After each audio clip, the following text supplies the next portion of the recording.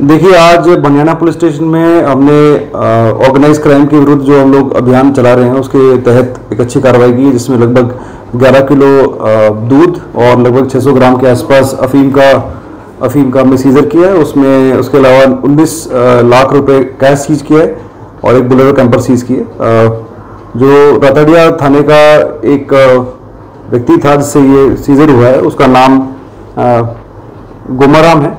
गोमाराम के बारे में लगातार हमें शिकायतें मिल रही थी और जो हमारी डीएसटी टीम है और जो लोकल इंटेलिजेंस है उनके थ्रू हमारे पास में इंटेलिजेंस आ रहा था, पर हमारे यहाँ प्रयास था कि एक बड़ा सीजर हम करें। इसको देखते हुए हमारी टीम ने एक बड़ा सीजर आज किया है।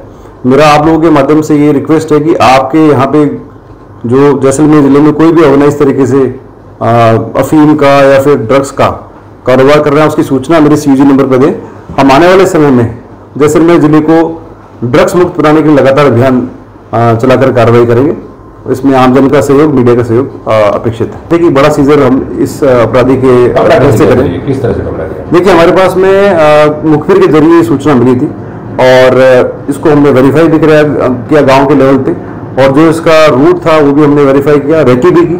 और उसके बाद ये कार्रवाई हमने अमल की। भागा कहीं मतलब पीछा किया गया। क्या?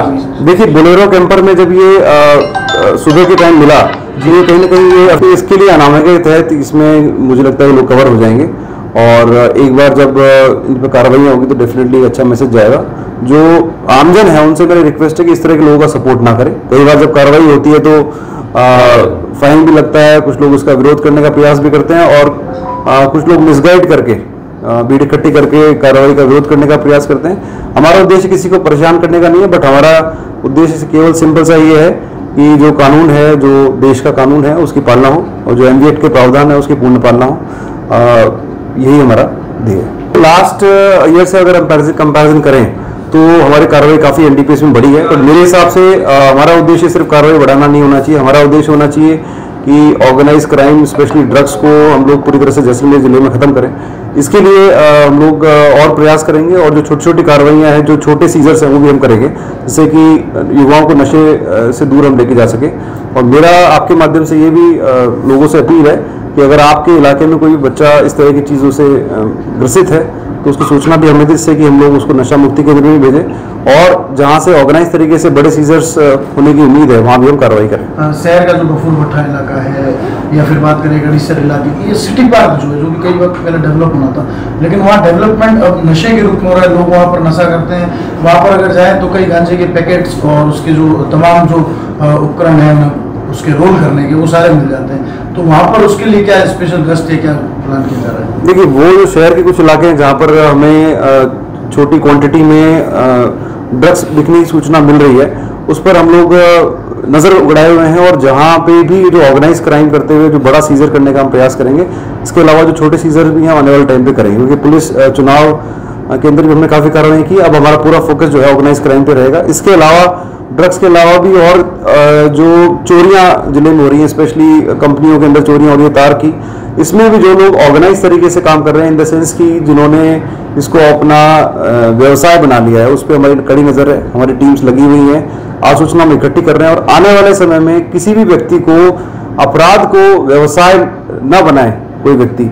इसको लेकर के जो भी कार्रवाई करनी हम करेंगे और सख्त से सख्त कार्रवाई राजपा से चाहे से हमें कार्रवाई करनी पड़े, चाहे से इन व्यक्तियों के खिलाफ हमें स्पेशली एक टीम बनानी पड़े बट हम किसी भी व्यक्ति को अपराध को व्यवसाय बनाने वाला जो काम है, वो नहीं होने देंगे। अनामिका जो ऑपरेशन चला है उसको याद से शुरुआत हुई क्या कुछ उसके बारे में? देखिए वो पहले से ही चल रहा था। चुनाव चुनाव जब थे उसी समय आई साहब के निर्देश थे कि ब्लैक शीशे की गाड़ियाँ बिना नंबरी गाड़ियाँ अ, ज़िले के अंदर काफ़ी हैं और उस पर हमने काफ़ी कार्रवाई अच्छी इफ़ेक्टिव कार्रवाई की। उसका उद्देश्य ये है कि अगर कोई व्यक्ति अपहरण करके या फिर गुंडागर्दी करके काले शीशे की गाड़ी में भागता है तो अ, उसको पहचानना मुश्किल होता है। तो इसको देखते हुए आई साहब निर्देश फरमाए थे।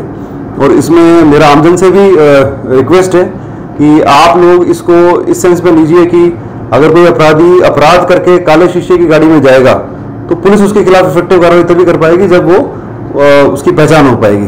तो और दूसरा काले शीशे गाड़ियों से जो एक अ, कानून को तोड़ने का और चैलेंज करने की जो एक परंपरा है प्रवृत्ति है उसकी उस पर भी अंकुश लगेगा और जो सभ्य लोग हैं मुझे लगता है सभ्य लोग कभी भी काले शीशे की गाड़ी अ, का उपयोग नहीं करते हैं। जो अपराधी तत्व के और जो अपना कानून का जो एक धता बताने का प्रयास करते हैं, ऐसे लोग इस तरह का प्रयास करते हैं तो उनको उनको हमारा क्लियर कट मैसेज ये कि आप जल्द से जल्द काले शीशे की गाड़ियाँ हटा दीजिए, अन्यथा सीजर की कार्रवाई की जाएगी। बिना नंबरी जो गाड़ियाँ हैं स्पेशली ज़िले में देखा गया कि आगे की तरफ़ नंबर होता है, पीछे नंबर नहीं होता है। तो ये कहीं ना कहीं उस व्यक्ति की मानसिकता को दर्शाता है कि वो जब कोई अपराध करे या एक्सीडेंट करे तो कोई ना कोई उसकी पहचान ना कर पाए। और जो देश का कानून है, उसमें आगे भी आपको नंबर लगाना है हाई सिक्योरिटी प्लेट पीछे भी लगानी है। तो इसको, इसकी पालना कराना हमारा हमारा कर्तव्य है। हम ट्रांसपोर्ट डिपार्टमेंट के साथ भी मिलकर के लगातार कार्रवाई करेंगे और इसके अलावा आमजन से भी रिक्वेस्ट है कि अगर आपकी कोई नंबर प्लेट टूटी हुई है तो उसको सही करा लें, जिससे कि अनावश्यक आपको कार्रवाई का सामना न करना पड़े।